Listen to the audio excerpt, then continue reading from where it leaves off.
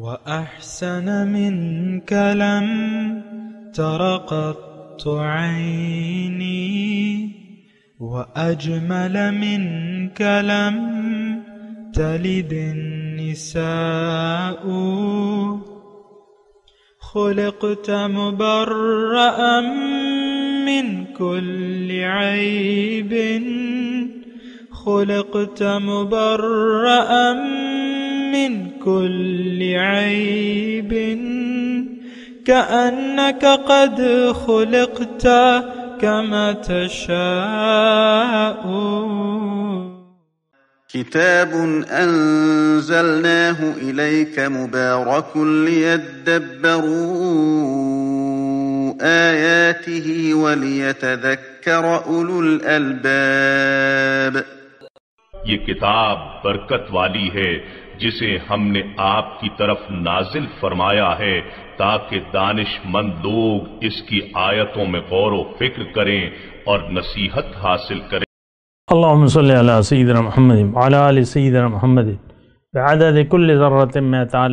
मरत सामीन नाजरीन कराम अल्लाम वरहि वबरक सामिन कराम, सूर नूर, दर्श नंबर सोलह उनतालीस, आयत नंबर चौंसठ, हिस्सा दोम आज का मौजू क्या हम दुनिया की मोहब्बत में गिरफ़्तार हैं इसके साथ आज के सबक का आगाज़ करते हैं सबसे पहले गुज्त सबक का अदा होगा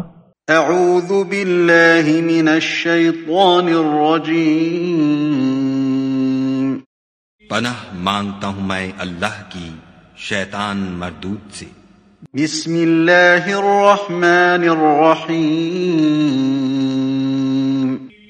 शुरू अल्लाह के नाम से जो बड़ा मेहरबान निहायत रहम वाला है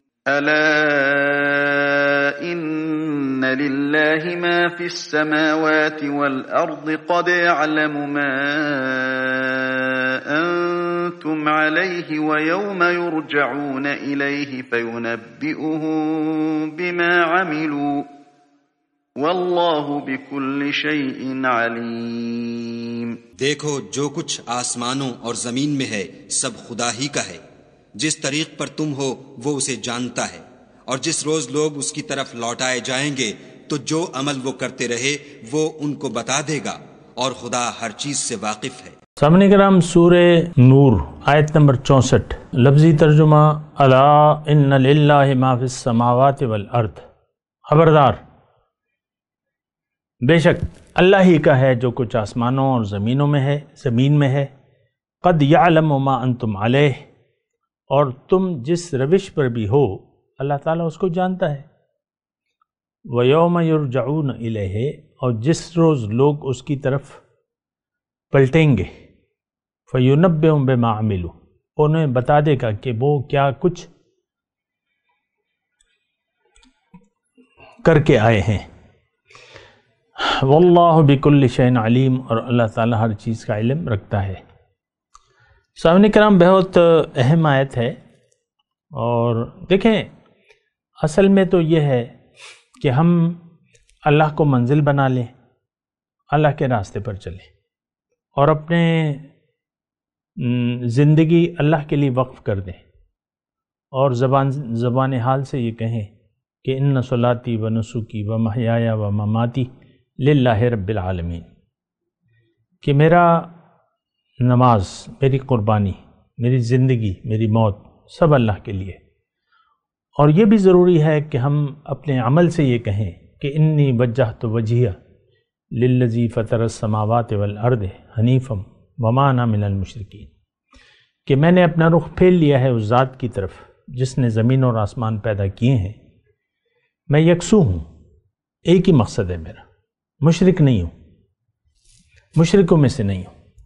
असल में हम कुरान के तकाज़ों के ख़िलाफ़ ज़िंदगी गुजार रहे हैं। ये बात नोट कर लें और जितनी जल्दी आप इस बात का एहसास और इदराक करेंगे तो ज़्यादा बेहतर होगा। देखें हम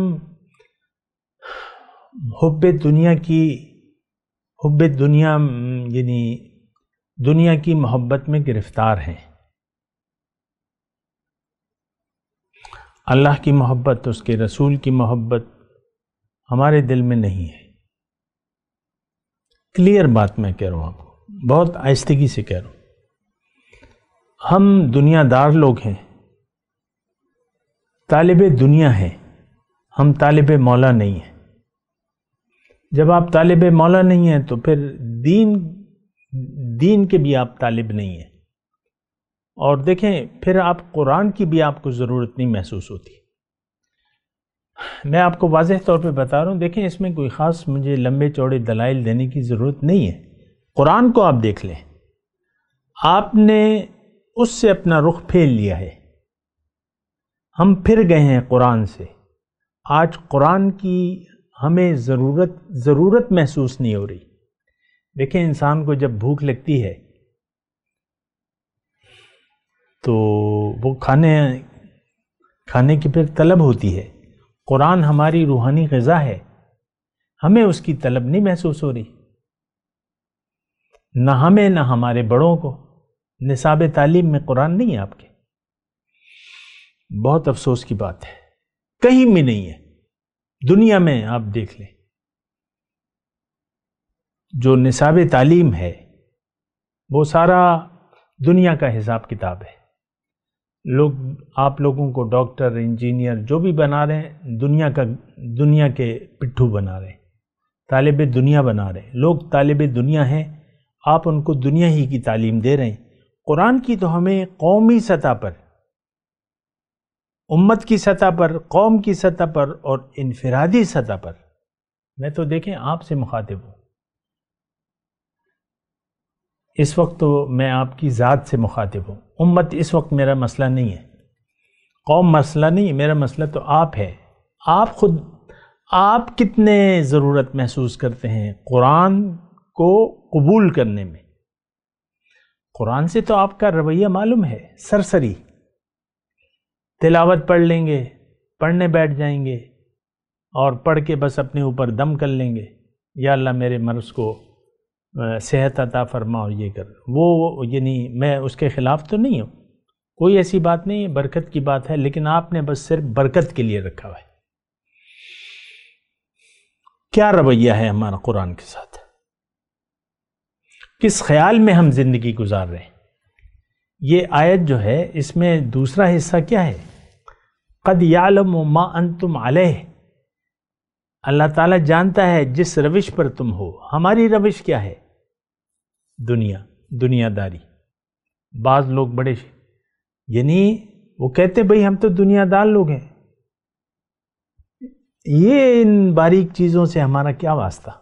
मुझे लोग बात कहते हैं, हम तो दुनियादार लोग हैं। बड़े शौक से कहते हैं, बड़े दावे से कहते हैं, हम तो दुनियादार हैं। तो जाओ फिर जहन्नम में।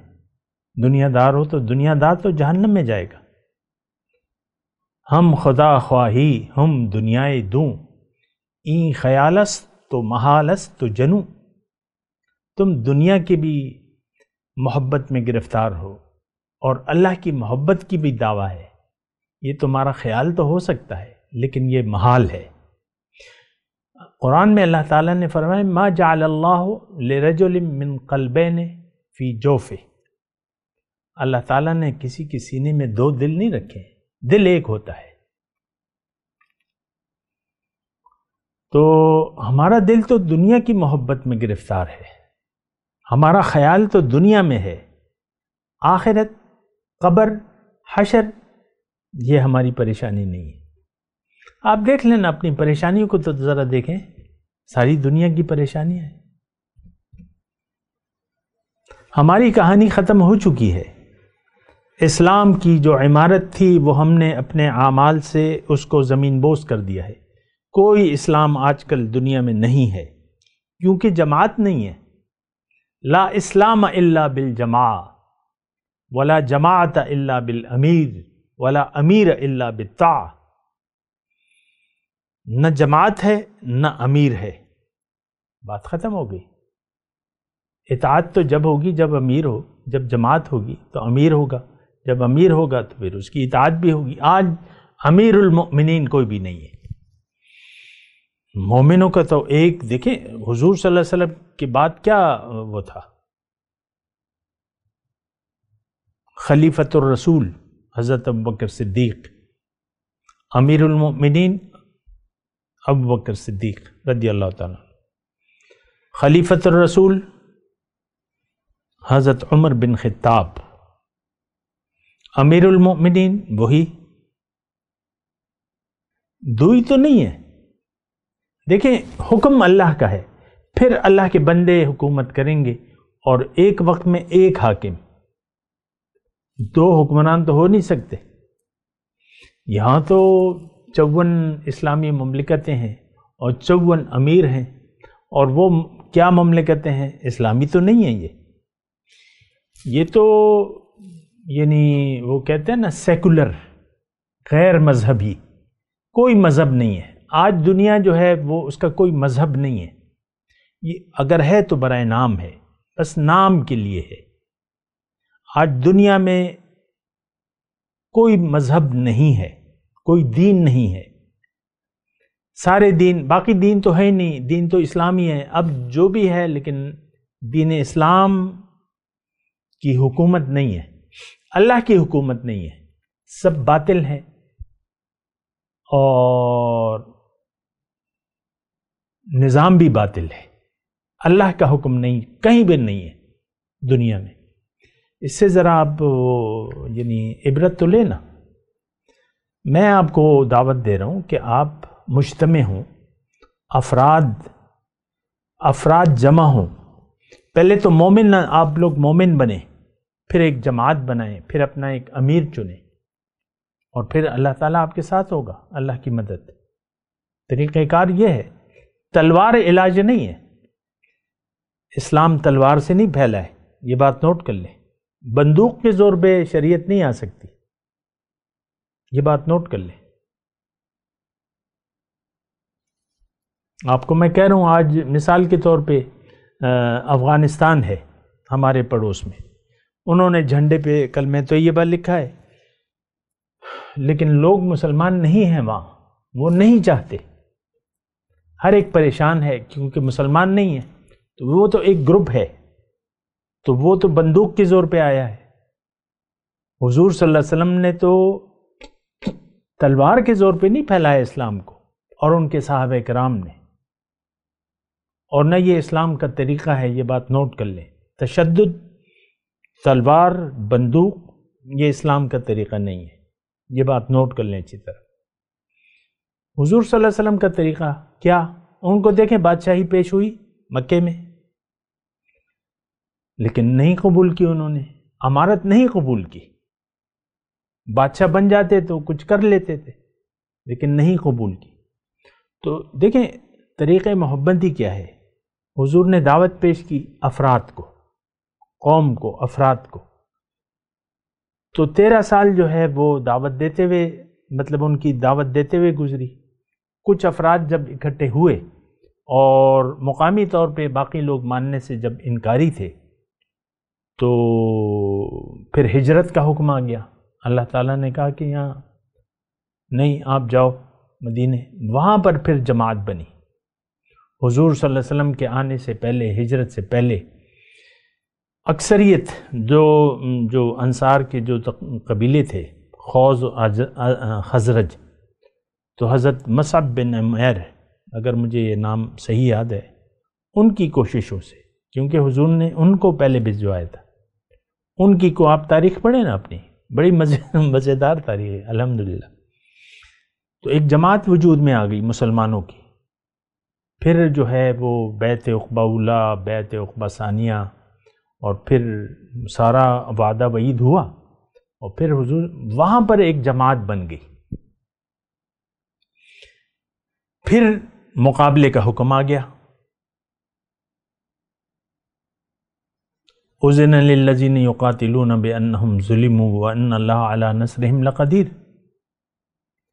इजाज़त फिर वहाँ पे मिली है और इजाज़त थी दिफा की कि भाई कोई लड़े तो तुम भी लड़ो। जवाब दो उसको। इकदाम का हुक्म फिर भी नहीं था। लेकिन जब मक्का फतह हो गया तो फिर जो है वो कलम आला आला कलमतुल हक के लिए मुसलमान निकले और उसमें भी देखें,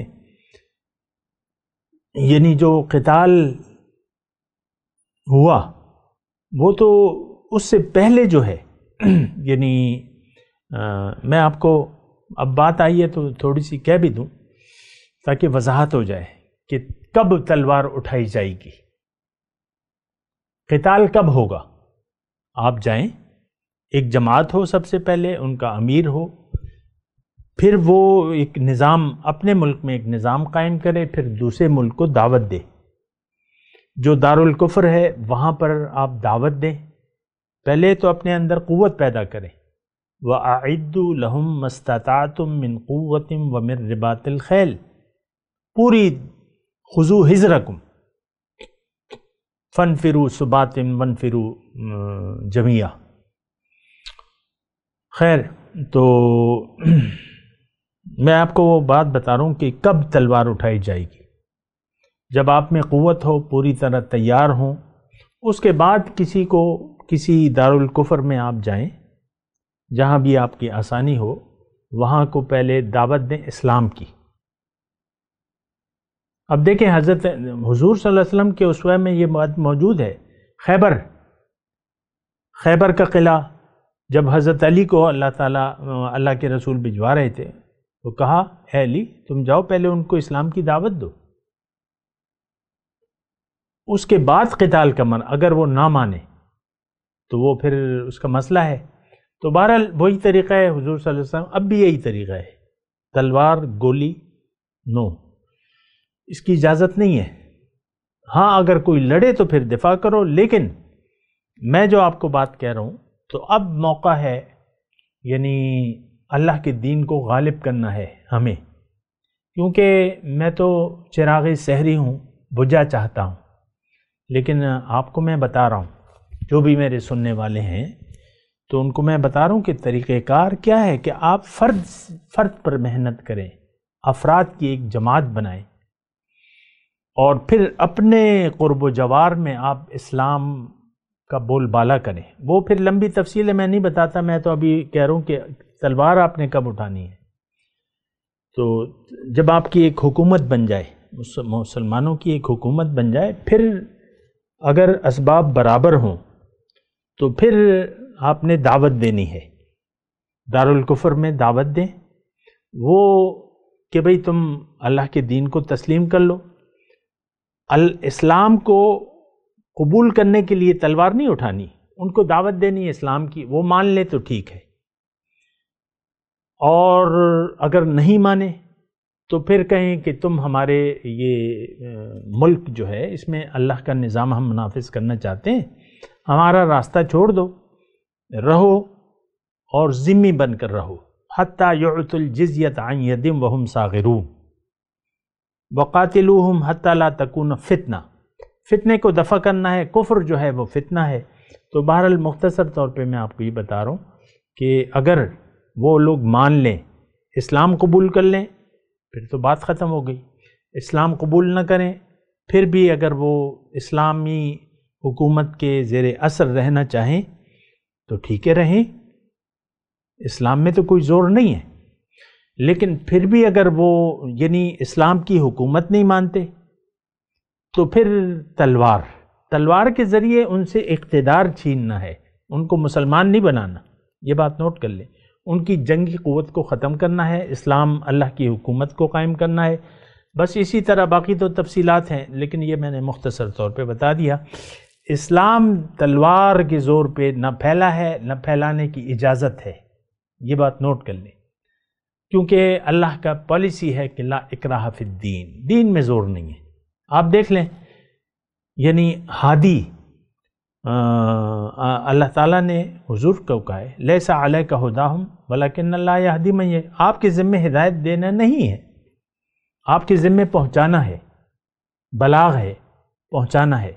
बस यही हमारी, हमारे सामने यही बात है, सामने करम। बहरहाल, मैं अपने मजमून की तरफ़ आता हूँ। आज का जो मजमून है क़द यालम मा तुम अलह। अला इन माफ़ी हमने आगाज़ किया था गुज्त सबक का ख़ुलासा यही था कि अल्लाह है। थोड़ा सा मैं मुख्तसर आपको बयान कर रहा हूँ। तो ख़ुलासा बयान करके फिर मैं आगे बढ़ता हूँ। मैंने आपको गुज्त सबक में कहा था कि देखें, इंसान लालची है, हरीस है, मफाद परस्त है। लेकिन आप ये तो देखें कि मालिकुल मुल्क कौन है? बादशाही का मालिक कौन है? अल्लाह या मालिकल मुल्क तुतिल मुल्क मन तशाओ, व तो इज़्ज़ मन तशाओ, व तो ज़िल्ल मन तशाओ। बेदिकल खैर। सारी खैर तो तेरे हाथ में है। सुबहान अल्लाह कुछ समझा करें ना। सारी खैर का मालिक कौन है? अल्लाह। बियद कल खैर। इन का आला कुल्ल शैन कदीर। जिसको चाहे बादशाही दे। तो तिल मुल्क मन तशाओ व तंजुल मुल्क मिमन तशाओ व तो इज़्ज़ मन तशाओ व तो ज़िल्ल मन। जिसे चाहे इज़्ज़त दे, जिसे चाहे जलील कर दे। सारी खैर तो अल्लाह की बात। ये देखें, मैं तो देखें, मैं तो आपसे कह रहा हूँ आप मान लें कि अल्लाह ही है सब कुछ। अल्लाह के हाथ में सब कुछ है। बेयद हिल खैर बेयद कल खैर। हज़रत यूसुफ के भाई उनका बुरा चाहते थे।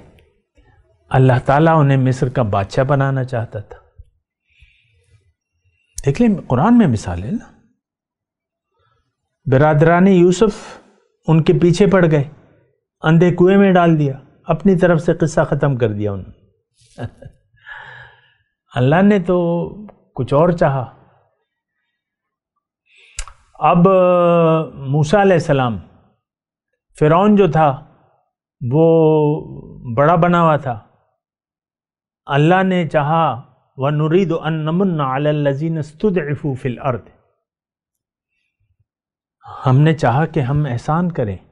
जो ज़मीन में कमज़ोर तो फ़िरौन जो है, लाओ लश्कर के साथ गर्क हो गया और उनको अल्लाह ताला ने ग़ुलामी से निजात दे दी और आखिरकार दाऊद और सलेमान सलाम की बादशाही कायम हो गई।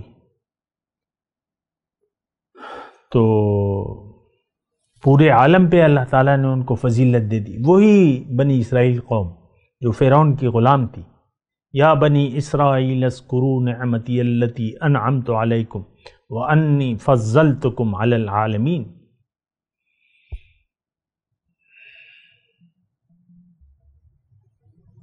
तो ये देखें, जो अल्लाह चाहता है वो होता है। वो हमारा उर्दू में एक शेर भी है ना कि मुद्दई लाख बुरा चाहे तो क्या होता है? वही होता है जो मंजूर खुदा होता है। मैं तो यही बात कह रहा हूँ कि इस मजमून में यही मजमून है। अला इन माफिस समावत वलग सारी ताकत का मालिक एक ज़ात है, अल्लाह। तो हमारा तो यकीन नहीं है। हमारा यकीन ज़ाहिर पर है। आप देख लें, अपनी हालत को देखें ना। बुतों से तुझको उम्मीदें, खुदा से ना उम्मीदी मुझे बता तो सही और काफिरी क्या है? हमें तो ज़ाहिर पर यकीन है। बस बात ख़त्म है। मैं तो देखें आपसे इनफरादी तौर पे बात कर रहा हूँ। आपका यकीन किस पर है? क्या आप मानते हैं कि बादशाहों का बादशाह अल्लाह है? तमाम मालिकल मुल्क बादशाही का मालिक अल्लाह है। और सब एक ताकत है जुल जलाल वाल इकराम। और बड़ी बरकत वाला है। फ़तबारकल्ला अहसनुल खालिकीन। बरकत वाला है, देने वाला है, लुटाने वाला है। अल्लाह कहता है, तुम मेरे हो जाओ, मैं तुम्हारा हो जाऊँगा। मन का न लिल्ला है का नल्लाह लहू। ये तो देखिए कुरान और हदीस बिल्कुल खोल के हमें बयान कर रहे हैं। कुरान में अल्लाह कहता है अलैहिस्सलाहु बिकाफिन अब्दा क्या अल्लाह अपने बंदे के लिए काफ़ी नहीं है? काफ़ी है। अल्लाह काफ़ी ना हो तो फिर कौन?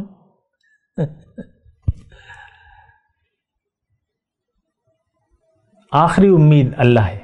पहली और आखिरी उम्मीद अल्लाह है। बस। अल्लाह ही अल्लाह है। देखें, ताकत एक है।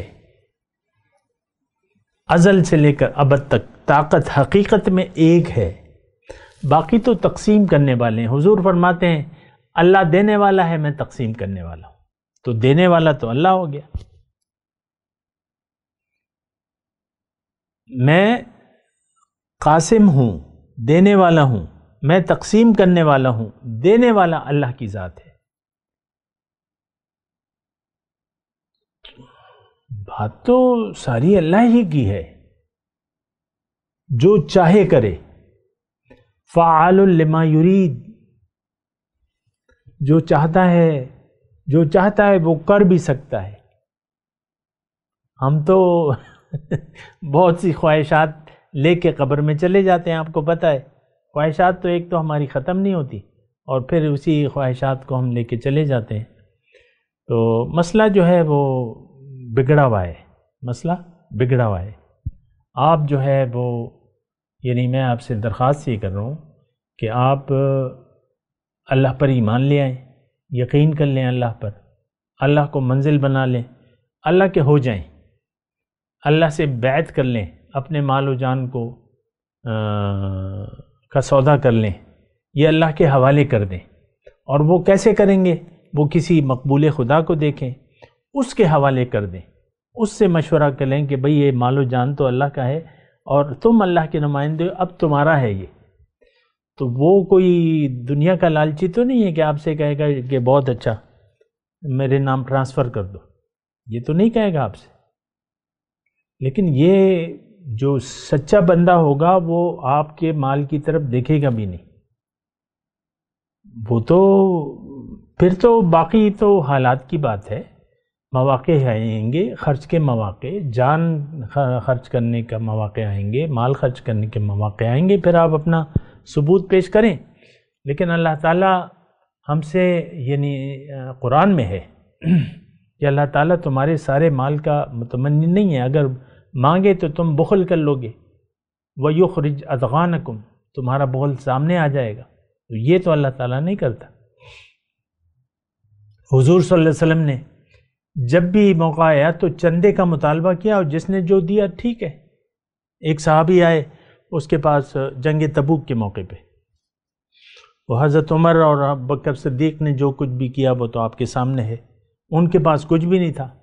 एक यहूदी के बाग में रात भर बाग को कुएँ से पानी निकाल के दिया, बाग सैराब किया और जो भी खजूरें मिली तो हुजूर को ला के दे दी। हुजूर ने उन खजूरों को सारे ढेर पे जो चंदा जमा हुआ था उस पर फैला दिया। अल्लाह के अल्लाह तो जज्बा जज्बा चाहता है। लई लहू मुहा वला दिमा हुआ वला कि यनाल तकवा मिनको अल्लाह ताला कहता है, मुझे तुम्हारे कुर्बानी के गोश्त और खून की ज़रूरत नहीं है, लेकिन जो तुम्हारा जज्बा है वो पहुँचता है मुझे। हम में तो जज्बा नहीं है। ये जो सब कुछ है, ये दिखावा है, रियाकारी है। हमारा आज जो दीन है, आज के मुसलमान का दीन, ये सारे का सारा रियाकारी पर मुश्तमिल है, ये बात मैं आपको बता दूँ। हम में न लाहियत है और ना हम अल्लाह के बनना चाहते हैं। तो कहानी ख़त्म हो जाती है हमारी। हम दुनिया के हैं, चाहे आज का जवान है, बूढ़ा है, चाहे वो कब्र में पाँव लटकाए हुए अस्सी साल उम्र है।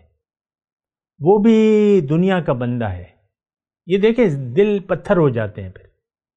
जूं जूं इंसान यानी यानी हुब दुनिया में रहता है, दुनिया में तो इसका दिल सख्त से सख्तर होता चला जाता यहाँ तक, यानी मौत आ जाती है, सर पे खड़ी होती है। वो दुनिया ही की बातें आप देख लें, करता रहता है।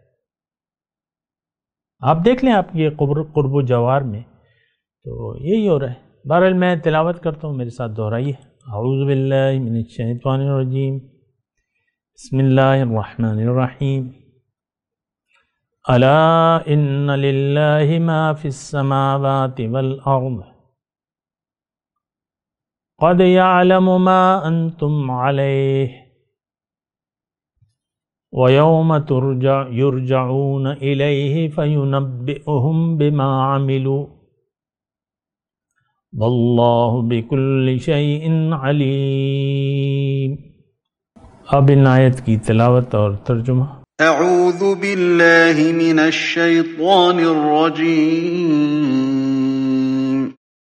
पनाह मांगता हूं मैं अल्लाह की शैतान मरदूद से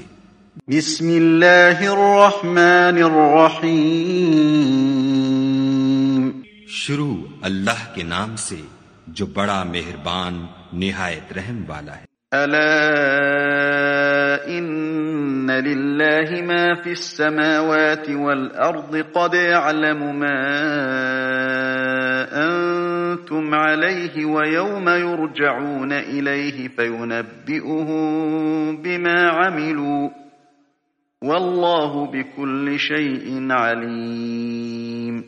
देखो जो कुछ आसमानों और ज़मीन में है सब खुदा ही का है। जिस तरीक पर तुम हो वो उसे जानता है। और जिस रोज लोग उसकी तरफ़ लौटाए जाएँगे तो जो अमल वो करते रहे वो उनको बता देगा और खुदा हर चीज़ से वाकिफ है। इसके साथ ही आज के दर्स का वक्त अख्ताम को पहुँचा। अगले दर्स में इन मुलाकात होगी।